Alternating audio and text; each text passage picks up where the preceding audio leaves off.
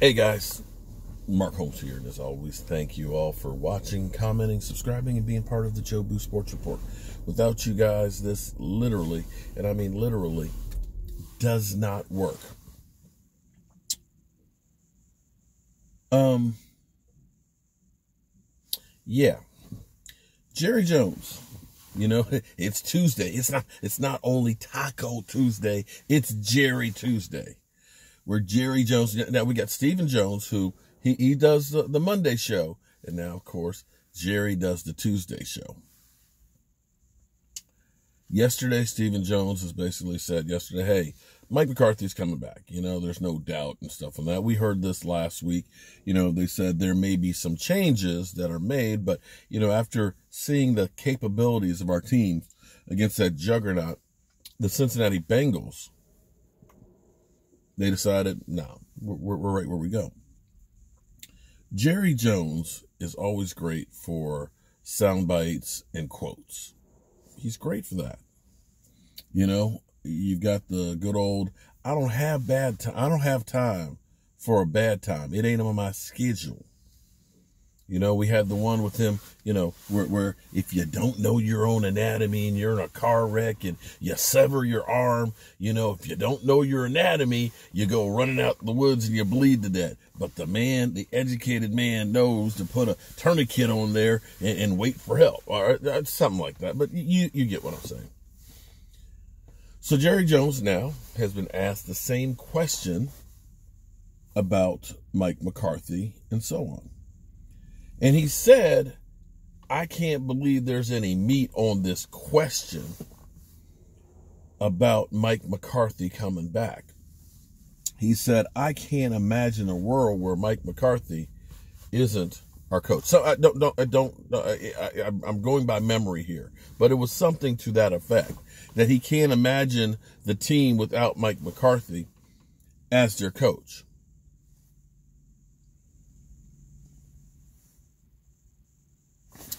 Does this feel like deja vu with Jason Garrett? You know Jason Garrett, he's the right guy. We understand Jason Garrett has some shortcomings and some things that don't work out right, but we believe in Jason Garrett, and it's hard for me to imagine anybody else coaching the Dallas Cowboys.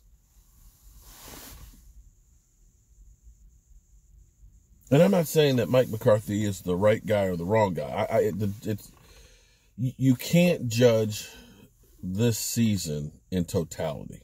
Although you can look and there's some things that you kind of question, and maybe that's because of the position that they're put in.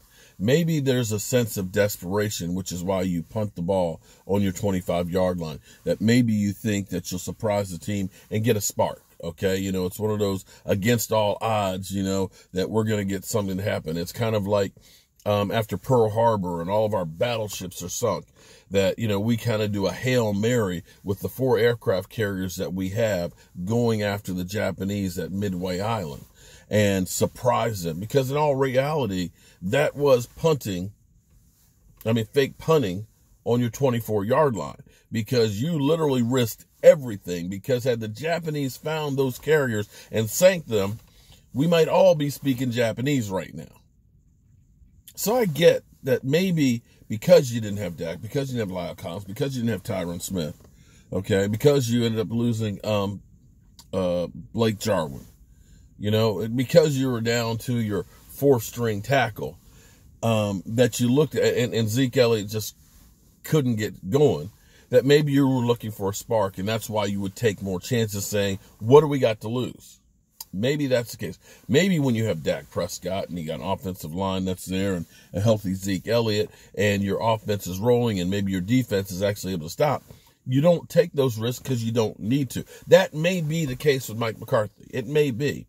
And it may be that, you know, we had Kellen Moore staying and calling the plays and implementing the offense that we had before because, uh, like we learned on the defense, there wasn't enough time to implement everything that you want to on the offense. You figured out, we're better off doing what we know that we know how to do because we can execute those things as opposed to putting new things in the mix, kind of like with Ben DiNucci, where we tried all these gadget plays and I'm sure that they hardly ever practiced before that week. That may be the case. And when you get Dak Prescott back and you realize there's a lot of things he can do that, you know, some people can't.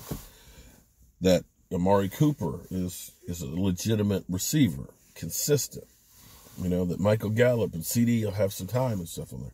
And we have a defense that doesn't give up 30 points a game that you will be able to coach. Because it's kind of like Norv Turner. Was Norv Turner an offensive genius?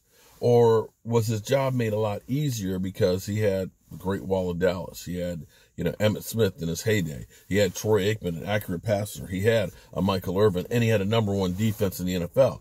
You know, basically, you know, you can dial up almost anything and it work because they can't cover all the bases.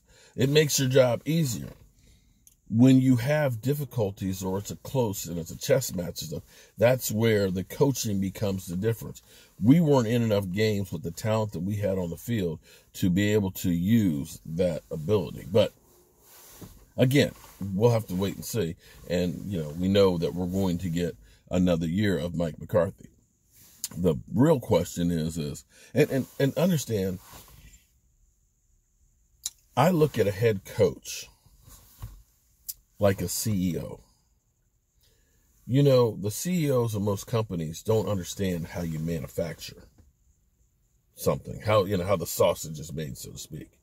But their job is to come up with a product or a theme, the thing that we're going to do, the vision and what you do as that CEO is you put those people that do know how to make that sausage.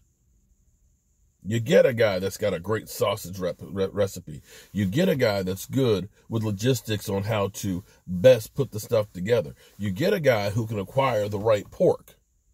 And so you get these guys. I'm not the one that's going to go out there and, and, and, and, go, go find the hogs. I'm not going to be the one that's grinding the sausage. I'm not going to be the guy that's coming up the recipe. I'm going to be the guy that gets the big bucks and says, make sure you, you, you, and you know what your job is and your role is and how to do it. And see, that's what you need is Mike McCarthy to do that. So you have to decide what are those guys that know how to make the sausage? And that's where we got to look at the defense. We got to first have a vision are we a 3 4 defense? Or are we a 4 3? Because if you're going to change up defenses, you need your, your, your pork acquiring guy to acquire the right kind of pork for that sausage. And then you need that guy that knows how to mix that 3 4 or 4 3 defense with that sausage. Because ultimately, that's the job of the head coach. That to make sure that the team is motivated, the team is prepared, but to be that visionary. Um, I'm I haven't been that one of the guy that wants my head coach to be calling the plays per se. I want that guy to oversee every bit of what's going on. Have that vision, but have a guy that his whole thing, his whole focus from the kickoff until the whistle blows is nothing but what is the next play we're going to do.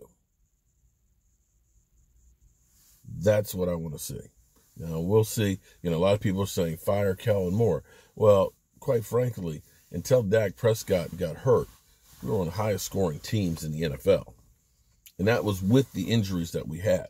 We score enough points to win games if we have a defense that can just do just a little bit.